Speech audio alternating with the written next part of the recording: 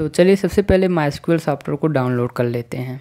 इसके लिए आपको कोई भी ब्राउज़र ओपन कर लेना है, जैसे कि क्रोम ब्राउज़र एंड गूगल में जाके सर्च करना है माई एस यहाँ आप देख सकते हो माई एसक्यूएल का ऑफिशियल वेबसाइट आ गया, इसको ओपन करना है। अब यहाँ पे डाउनलोड का ऑप्शन है, इस पर क्लिक करना है और थोड़ा सा नीचे आना है। यहाँ पे नीचे आप देख सकते हो माई एसक्यूएल कम्युनिटी डाउनलोड्स लिखा है, इस पर क्लिक करना है। यहाँ पे आपको MySQL installer for Windows देखने को मिलेगा, इस पर क्लिक करना है। क्लिक करने के बाद यहाँ पर आपको एक ऑनलाइन इंस्टॉलर देखने को मिलेगा एंड दूसरा ऑफलाइन इंस्टॉलर जैसे कि यहाँ पे ऑफलाइन इंस्टॉलर है तो इसके डाउनलोड पे क्लिक करना है। डाउनलोड पे क्लिक करने के बाद यहाँ पे no thanks just start my download का ऑप्शन आएगा। इस पर क्लिक करना है। इस पर क्लिक करते ही माई डाउनलोड होना स्टार्ट हो जाएगा। जैसे कि यहाँ पे आप देख सकते हो डाउनलोड हो रहा है।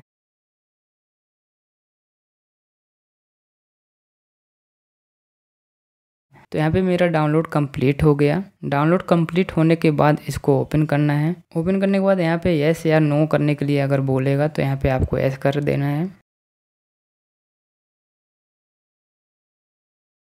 तो फाइनली आपके पास ऐसा इंटरफेस ओपन होकर आएगा।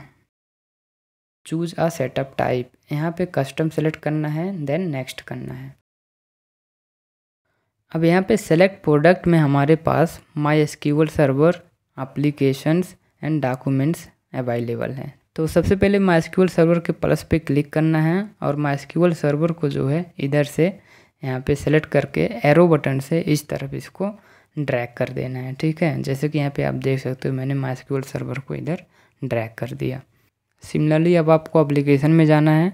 और माई एसक्यूबल वर्क बेंच को भी राइट right एरो से इस तरफ़ ड्रैग कर देना है। And then MySQL shell में जाना है और सेल को भी सेलेक्ट करके इस तरफ़ ऐसे ही राइट एरो से ड्रैग कर देना है। यहाँ पे आप देख सकते हो तीनों सेलेक्ट हो गया। ये तीनों सेलेक्ट करने के बाद आपको नेक्स्ट करना है। यहाँ स्टेटस में रेडी टू इंस्टॉल दिखा रहा है तो इंस्टॉल करने के लिए एग्जीक्यूट पे क्लिक कर दो। अब ये तीनों इंस्टॉल हो रहा है तो यहाँ पे थोड़ा सा वेट करना है जब तक ये तीनों स्टेटस कंप्लीट नहीं हो जाता ओके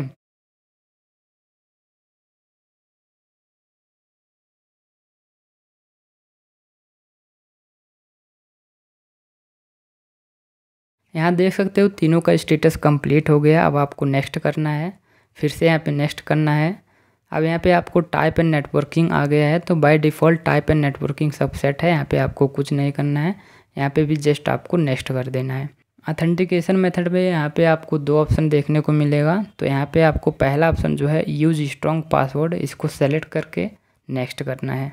अब यहाँ पे अकाउंट एंड रोल्स में रूट यूज़र का पासवर्ड सेट करने के लिए बोल रहा है। तो यहाँ पे मैंने माई एस तीन बार एट द रेट तीन बार hashtag one two three मैंने दे दिया, ठीक है? आप चाहे तो ये पासवर्ड भी यूज़ कर सकते हो, या फिर आप अपने इच्छा अनुसार कोई भी यहाँ पे एक कम्प्लेक्स पासवर्ड जो है यूज़ कर सकते हो। पासवर्ड देने के बाद अब आपको नेक्स्ट कर देना है। विंडोज़ सर्विस है, यहाँ पे भी आप नेक्स्ट कर दो। यहाँ पे सर्वर फ़ाइल परमिशन मांग रहा है तो यहाँ पे आपको ये वाला जो दिख रहा है यस ग्रैंड फुल एक्सेस इसको सेलेक्ट करके अगेन इसको नेक्स्ट कर देना है। यहाँ पे आपको कुछ नहीं करना है जस्ट सिंपली एग्जीक्यूट पे क्लिक कर दो कन्फिग्रेशन जो है ऑटोमेटिक सब पे जो है अप्लाई हो जाएगा। तो यहाँ पे कन्फिग्रेशन पूरा कंप्लीट हो गया, अब आप फिनिश पे क्लिक कर दो। यहाँ पे आप देख सकते हो कन्फिग्रेशन जो है वो कंप्लीट हो गया। तो आप सिंपली अब यहाँ पे नेक्स्ट कर दो एंड देन अगेन फिनिश पे क्लिक कर दो। फिनिश होने के बाद automatically my SQL shell and my SQL workbench open होकर यहाँ पर आ जाएगा, जैसे कि यहाँ पे आप देख सकते हो। याद रहे, यहाँ पे अभी आपको माई एसक्यूएल को लॉगिंग नहीं करना है। माई एसक्यूएल को लॉगिंग करने से पहले एक और सेटिंग है, बहुत ही इंपॉर्टेंट सेटिंग है, उसको आपको पहले सेटअप कर लेना है। तो इसके लिए आपको दिस पीसी में जाना है और यहाँ पे सी ड्राइव को ओपन करना है। सी ड्राइव के अंदर यहाँ पे आपको प्रोग्राम्स फ़ाइल देखने को मिलेगा। तो प्रोग्राम फ़ाइल को ओपन करना है। प्रोग्राम फ़ाइल के अंदर यहाँ पे माई नाम का फोल्डर मिलेगा। इसको ओपन करना है। देन यहाँ पे माई सर्वर में जाना है। माई सर्वर के अंदर यहाँ पे आपको बिन नाम का फोल्डर देखने को मिलेगा। इसको ओपन करना है। अब यहाँ पर इस पर क्लिक करके इस पाथ को जो है कॉपी कर लेना है एंड सबको मिनिमाइज कर देना है।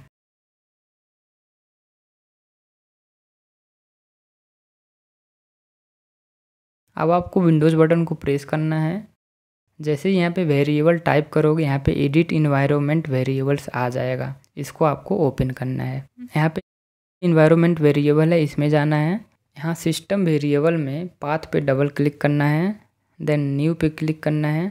एंड यहाँ पे हमने जो पाथ कॉपी किया था, उसको पेस्ट कर देना है। एंड देन ओके एंड सबको यहाँ पे ओके ओके कर देना है। फाइनली इंस्टॉलेशन एंड कॉन्फ़िगरेशन हमारा कंप्लीट हो गया। अब मैं आपको माई एसक्यूएल सी में ओपन करके दिखा देता हूँ। अब रूट यूज़र से माई एसक्यूएल को लॉगिन कर लेते हैं। इसके लिए यहाँ पे लिखना है MySQL space hyphen u u for user space root root यहाँ पे हमारा रूट यूज़र का नाम है स्पेस हाइफन पी इंटर कर देना है। अब यहाँ पे पासवर्ड पूछ रहा है तो यहाँ पे हमने वो पासवर्ड दे देना है, जो हमने कॉन्फ़िगर करते टाइम सेट किया था। जैसे कि मैंने सेट किया था माई एस तीन बार एट द रेट तीन बार hashtag one two three यहाँ पे आप देख सकते हो my S SQL successfully MySQL database में लॉगिंग हो गया। अब मैं आपको वर्क बेंच में भी लॉगिंग करके दिखा देता हूँ।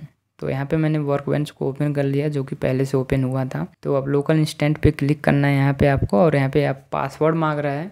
तो सेम पासवर्ड आपको दे देना है यहाँ पर भी। और यहाँ पे भी आप देख सकते हो ग्राफिकल मोड में भी जो है वो माई एसक्यूएल लॉगिंग हो दोस्तों, बस, फ़िलहाल वीडियो में इतना ही। वीडियो देखने के लिए आपको बहुत बहुत धन्यवाद। मुझे उम्मीद है आपको वीडियो पसंद आया होगा। अगर आपको वीडियो पसंद आया तो प्लीज़ वीडियो को लाइक एंड चैनल को सब्सक्राइब कर लो, क्योंकि मैं आपके लिए ऐसे ही हेल्पफुल वीडियोज़ लेकर आता रहता हूँ। मिलता हूँ आपसे नेक्स्ट वीडियो में। तब तक लिए जय हिंद बंदे मातरम।